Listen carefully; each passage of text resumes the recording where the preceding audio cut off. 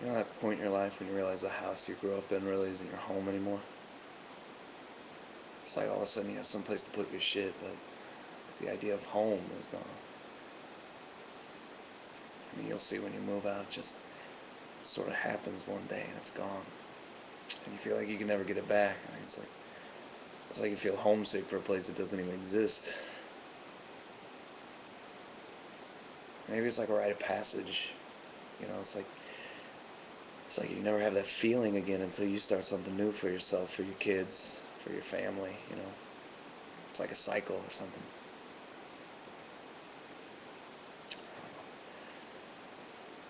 But I miss the idea of it.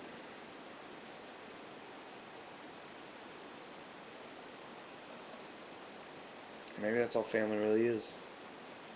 Just just a group of people who miss the same imaginary place. Maybe that's all family really is.